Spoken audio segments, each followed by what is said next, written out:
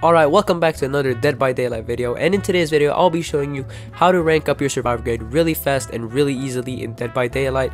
Now, if you didn't already know, today is the 13th of September and at this date of time you will get rank reset in Dead by Daylight which most of you already knew but to you guys that didn't know that, your rank gets reset and you earn rewards depending on high, how high you were in the uh, survivor grade and in the killer grid. But today we're going to just be talking about the survivor grid. Maybe the killer grid will be in a future video.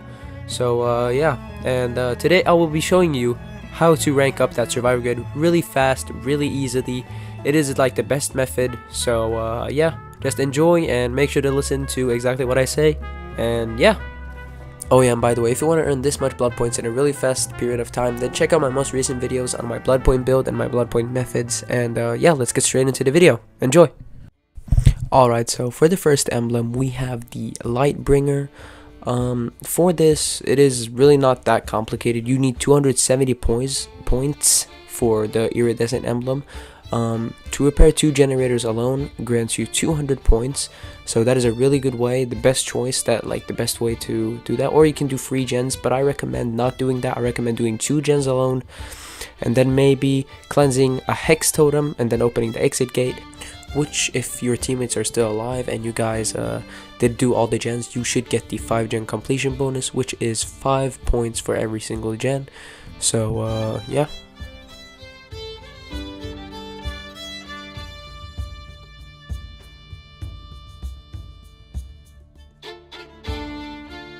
Now this one is a little bit trickier. You need 880 points to get the iridescent emblem. You start with 100 points and every time you're not in chase and you're in the killer's terror radius you get one point per second.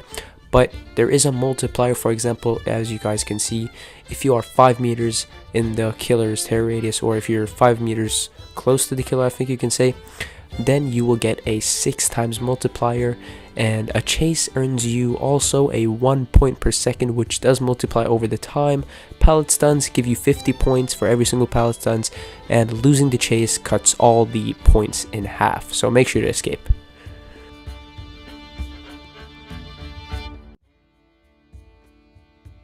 Now for this one you only need 40 total bonus points.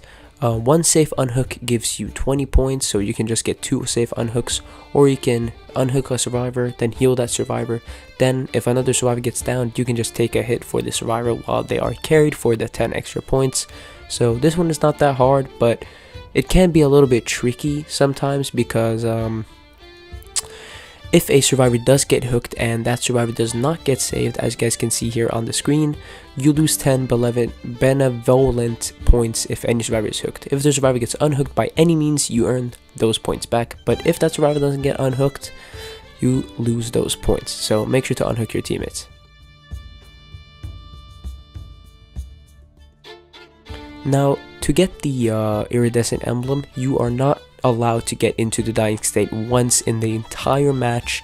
So you can get injured, but you cannot escape if you have been downed.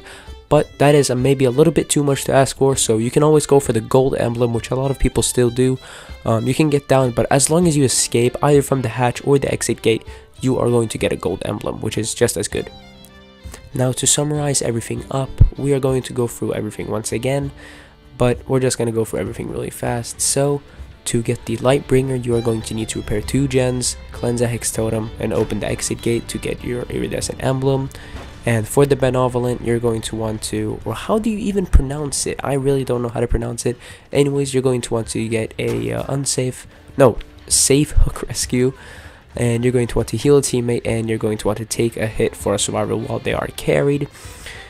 For the next one, the Evader, you're going to want to get your 880 points get the pallet stuns, be in chases, just stay close to the killer at all times, and uh, unbroken, really simple, just don't get down.